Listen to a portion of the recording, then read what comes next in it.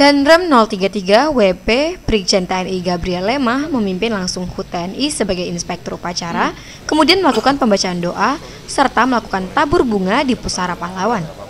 Dalam acara tersebut turut hadir dan Rem 033 WP dan Lanut Tanjung Pinang dan Lantamal 4 Tanjung Pinang, Ibu Ketua Persid Kartika Chandra Kirana. Jadi berkaitan dengan HUT TNI, ini sementara sudah berjalan, puncaknya nanti tanggal 5 Oktober besok.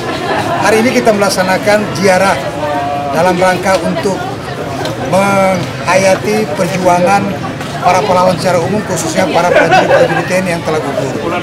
Jadi ini menunjukkan bahwa apa pun yang kita alami hidup termasuk TNI kita tidak pernah melupakan sejarah terutama perjuangan dari para pahlawan kusuma bangsa kita.